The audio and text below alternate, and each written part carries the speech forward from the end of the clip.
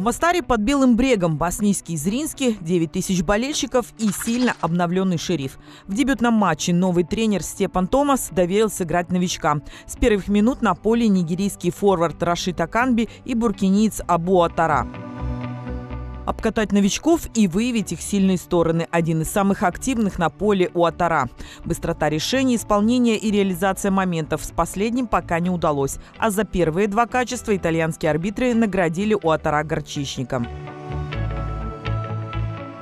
На 78-й минуте в игру вступает еще один новичок буркинийского вингера, меняет нигерийский нападающий Ия Атимвен. Атимвен вышел на поле. Это, кстати, еще один дебют, дебют тоже футболист впервые в официальном матче. Кодовое имя Аквамен.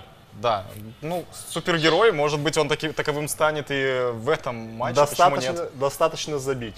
Забить не удалось. Дебют получился коротким. Игрок Зринский Тичинович сфалил. Спустя 8 минут Атимвин покинул поле, получив боевое крещение и травму. Мы сейчас видели некоторых футболистов шерифа, даже Рашида. Вот посмотрите, высокий молодой человек. А Аканби это, это и есть это Рашид. А теперь, оказывается, Аканби Рашид. С классной прической.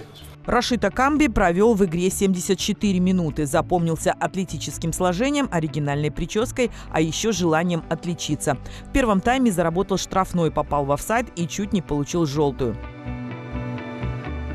90 минут матча плюс 9 добавленных, почти без опасных моментов, стыки и 8 желтых карточек. На табло 0-0. Результат более предпочтительный для шерифа.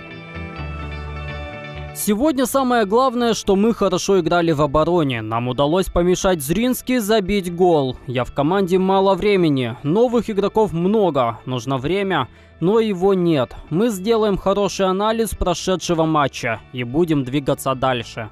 Через пять дней ответная игра в Кишиневе. Обновленный шериф и Степан Томас, вопреки обстоятельствам, сыграют в свой футбол. На арене Зимбру ждем от тираспольчан только победы.